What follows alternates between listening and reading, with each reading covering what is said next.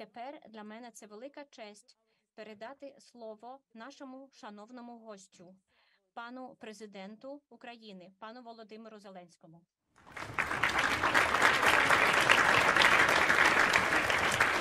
Вітаю усіх вас з Києва, з міста, де я впевнений, ми відкриємо ще один такий коледж коледж Європи. І нам точно треба більше фахівців з європейських справ. І ми вже почали роботу по створенню такої освітньої інституції у нашій столиці. Я хочу одразу подякувати вам за сказані щойно добрі слова про Україну, про українців. Я дякую вам, пані Ево, пані Федеріко, шановні студенти. Дякую за підтримку нашої боротьби за свободу і за Європу. Саме так ми всі з вами по-різному, і кожен на своєму місці, але однаково щиро боремось за Європу. Я вважаю, що це принципова битва для наших поколінь, битва за Європу, за те, чи будуть реально діяти наші спільні європейські цінності, за те, чи збережуться справжні рівність і різноманіття на нашому континенті, і за те, чи зможе Європа бути все ж таки мирною. Це наша з вами битва, і ми маємо перемогти в цій битві за Європу. Ми маємо не забувати, що Європа знала різні часи, різні системи панували чи боролись за панування в Європі і світі. Я вважаю, що дуже важливо згадати про це саме сьогодні, у Міжнародний день пам'яті жертв Голокосту. Дуже важливо згадувати про це щоразу, коли бачите чергові повідомлення про жорстокість російської війни проти України та про чергові кроки російської тиранії проти свободи на тій території, що підконтрольна Кремлю.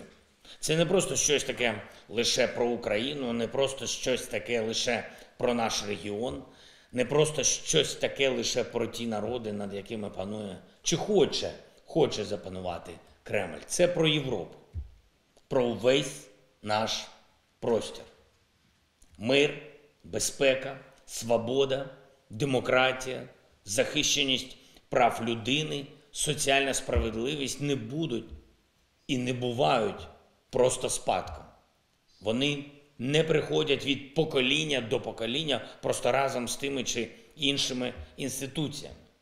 За них треба бути готовим боротись і мати рішучість боротись, мати відповідне лідерство. На жаль, це в людській природі розслаблятись, втрачати досягнуте, скочуватись у жорстокість. Різні тоталітарні системи мали своє коріння тут, у Європі. Війна триває тут, у Європі. Геноцидна політика здійснюється Росією тут, у Європі. Але саме тут, у Європі, є також одне з найбільш потужних джерел глобальної свободи і міжнародного правопорядку. Це джерело завдяки попереднім поколінням має своє інституційне вираження. Європейський Союз та всі ті установи, як, наприклад, ЄСПЛ, що захищають свободу і людину, право і людяність. Чи можуть такі інституції зберегтися і зберегти дієвість лише тому, що вони просто існують? Ні. Як державі не зберегтись без армії, так і нашій з вами Європі не обійтись без захисту. Тому я закликаю вас вчитись тут, в коледжі Європи, не просто тому, як бути частиною європейської бюрократії, не просто тому, як бути знавцями європейських справ, а тому, як бути захисниками і захисницями європейських цінностей, як бути лідерами в боротьбі за Європу, як бути фактично командирами що зможуть повести за собою інших в битві за Європу.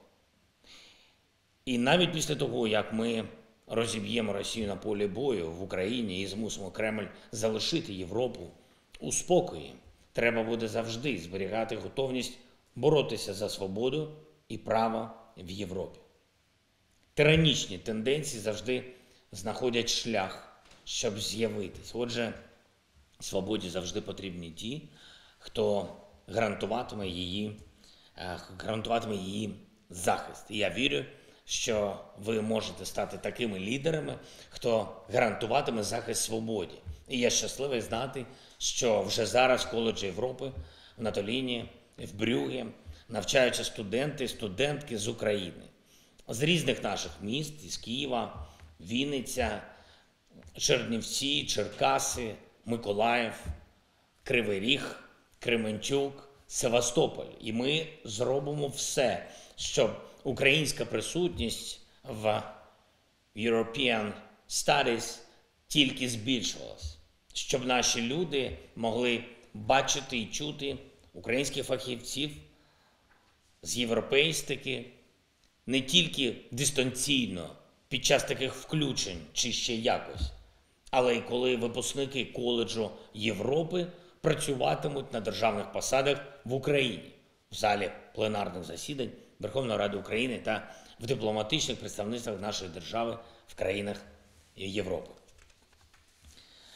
Я також впевнений, достойно представлятимуть нашу країну в інституціях Євросоюзу, в тому числі випускники Українського коледжу Європи. Для нас з вами немає іншого шляху, ніж перемогти у битві за Європу. Так само, як ми об'єднали Європу, так само, як ми посилюємо Європу, так само ми гарантуємо Європі свободу і безпеку довгостроково. Звичайно, з Україною у складі Європейського Союзу. Інше неможливо. Дякую вам за увагу. З нетерпінням очікую ваших запитань та звернення Гітаноса, великого друга України та захисника європейської ідеї, пана президента Литви. Дуже дуже дякую. Слава Україні!